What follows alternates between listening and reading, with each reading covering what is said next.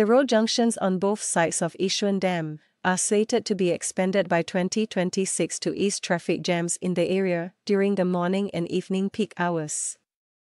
A Land Transport Authority LTA spokeswoman said the entry and exit points along the dam will be widened to accommodate a growing volume of traffic, which is expected to increase further as more residents move into built order BTO units in Nee Soon Link, Nee Soon East, and Sembawang.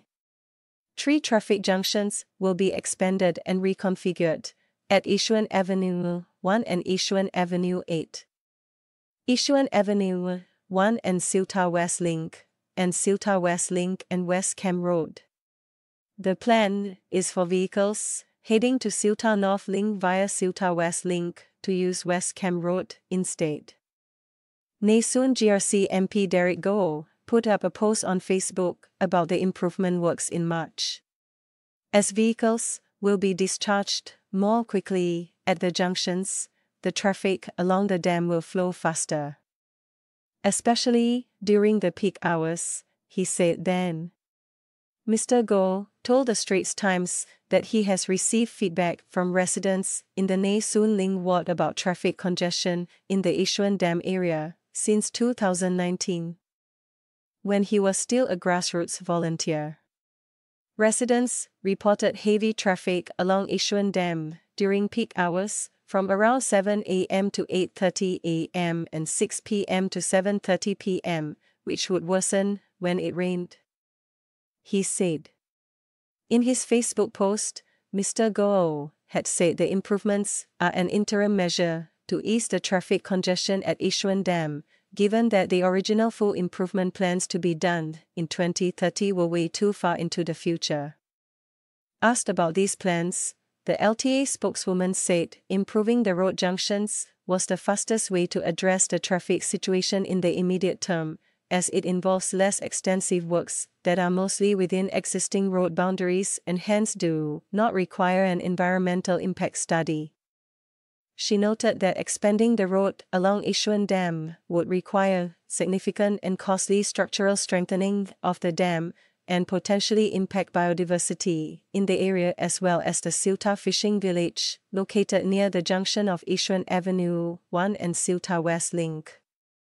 As environmental studies would have to be carried out along with strengthening works, this option would not be in time to cater to the growing traffic volume, she added.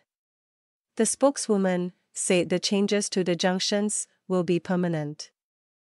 With the upcoming North South Corridor set to provide an alternative travel route for motorists when it opens in phases from 2027, there are no immediate plans to widen the existing road along Yishun Dam or to build a new bridge across Lower Seletar Reservoir.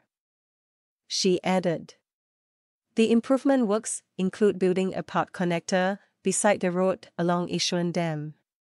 Mr. Goh said this will provide a dedicated cycling path for cyclists who currently use the road to travel across Yishun Dam. Precautionary measures, such as the installation of silt screens and noise and environmental management controls, will be put in place while the works are being carried out, said the LTA spokeswoman. Motorists who spoke to ST welcomed the improvements, although some were doubtful about their effectiveness.